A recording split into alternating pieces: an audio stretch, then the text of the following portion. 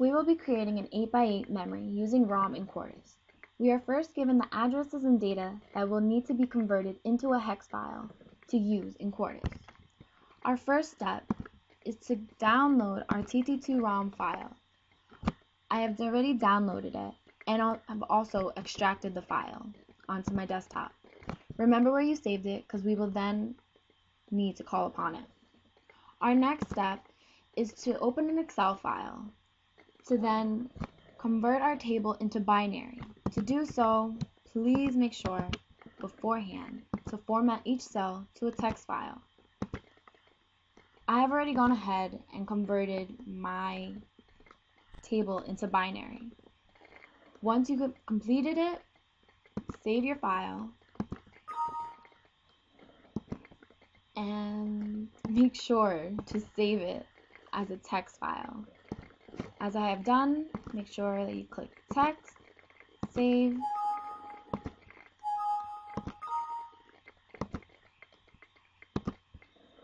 After this step, you could then call upon the command prompt. I have saved all my items on the desktop, so I will call on the desktop, and then I will call in the TT2 ROM file, and also my text file.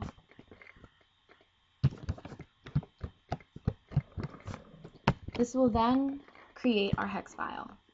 Once completed, you can then open up Quartus. I've gone ahead and created my schematic. To create my schematic, you must first create your ROM.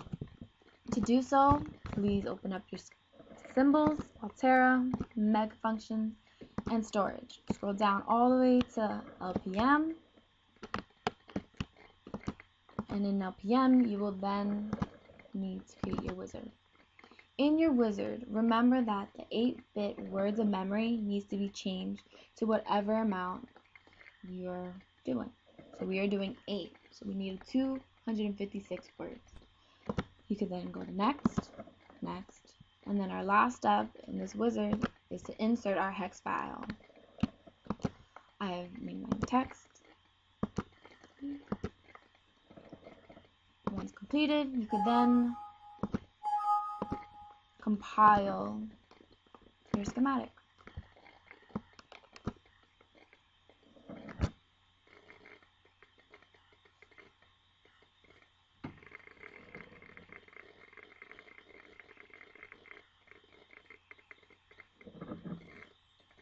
Once compilation is completed, you can then create your waveform.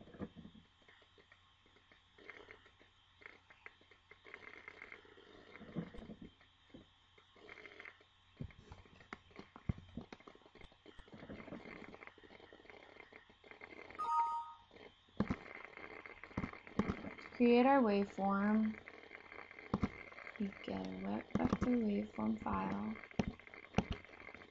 insert nodes, finder list, select all the inputs. Yes. Okay. You need to put your count. You could put these in manually or do what I've done and click the counter.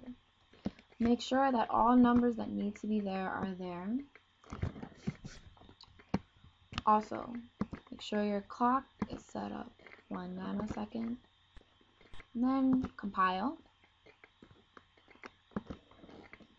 Save.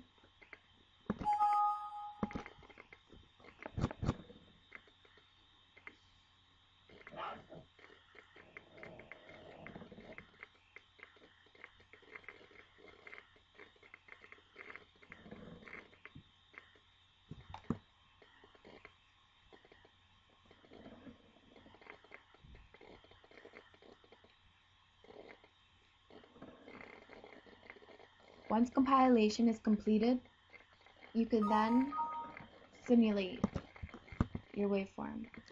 I myself like to go to the simulator tool, create a functional netlist,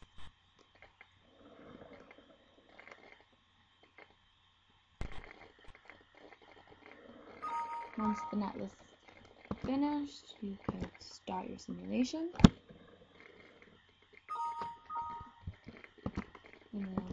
Import, and what you should get is what should be in the table.